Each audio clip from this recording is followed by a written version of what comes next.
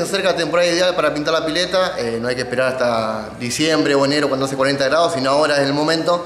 Eh, bueno, hay diferentes productos para distintos tipos de pileta, eh, diferentes, diferentes preparaciones, bueno, cosas como para tener en cuenta para no tener problemas luego, ¿no es cierto? ¿Las piletas de fibra también se pueden pintar o se deben pintar? La pileta de fibra se puede pintar perfectamente como, como cualquier tipo de pileta. Lo que recomendamos para lo que es fibra, eh, hay que utilizar la pintura eh, para piscina base caucho o con solvente, no la base agua. Eh, es la que mejor adhiere sobre esa superficie. para el otro tipo de pileta sí se puede usar la pintura base agua, no hay ningún problema, pero lo que es fibra siempre recomendamos la base caucho. Muchas veces el trabajo de pintura de pileta lo realiza uno mismo en la casa. ¿Hay algunas pinturas que son más complicadas y es mejor si las aplica un pintor?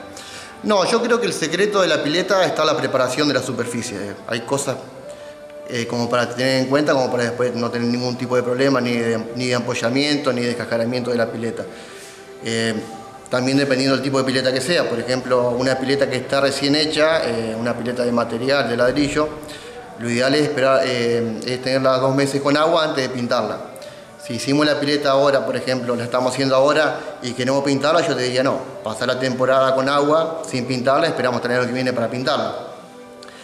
También hay que tener en cuenta el lavado con lavandina eh, para sacarle todo lo que es verdín, hongos, eh, una buena enjuagada con agua y detergente, también una, pasadita de, de ácido diluida un 40% con agua como para sacarle por ahí lo que lo que puede ser salitre, lo que puede ser en caso de pileta de, materiales, o lo que puede ser sarro.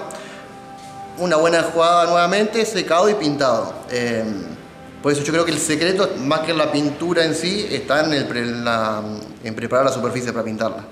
Con respecto a la duración de las pinturas, pues sabemos que hay de diferentes costos. ¿Hay alguna pintura que pueda, por ejemplo, saltearme una temporada y pintarla cada dos años? ¿O siempre todos los años hay que renovar la pintura? No, no, yo creo que hoy las pinturas duran unas cuantas temporadas. Sobre todo la que es caucho eh, tiene mayor resistencia y dura un poquito más que la que es base agua. Eh, pero no, no hace falta pintarla todos los años. Eh, inclusive por ahí tampoco es recomendable pintarla todos los años porque vos imagínate que si estamos todos los años pintando, le estamos agregando a la superficie pintura, pintura, capa y capa y capa. Bueno, en algún momento obviamente que vamos a tener problemas de, de ampolla o descascaramiento, lo que sea, vamos a tener que sacar toda la pintura y volver a la, superficie original porque, bueno, obviamente eh, va a tener muchas capas de pintura. Entonces, bueno, eh, si bien hay que hacerle mantenimiento a la pileta, pero bueno, tampoco no, no pintarla todo, todos los años porque vamos a tener problemas luego. Con respecto al tiempo de secado entre mano y mano, ¿es mejor darle una mano un día y después al otro o en unas horas ya se le puede dar la segunda mano? No, no, cada dos o tres horas se le puede dar una mano de pintura, no hay ningún problema. Lo que es importante sí es el secado posterior.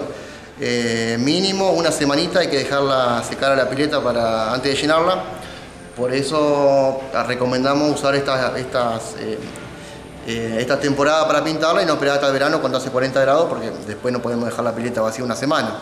Entonces, eh, eso es muy importante, muy importante, no apurarnos a llenarla porque para evitar eh, futuros problemas. ¿La gente se anima a otros colores para las piletas o sigue el clásico celeste o azul? No, no, la verdad que la gente cambió bastante con la, cabeza, digamos, con el tema del color tradicional de la pileta. Eh, hoy tenemos la posibilidad de usar el abanico como, como si vamos a pintar nuestra casa, bueno, elegir para pintar una pileta. O sea que tenemos el abanico disponible para hacer cualquier tipo de color y bueno, ahí por ahí jugar un poquito también con el tema de los colores de las piscinas.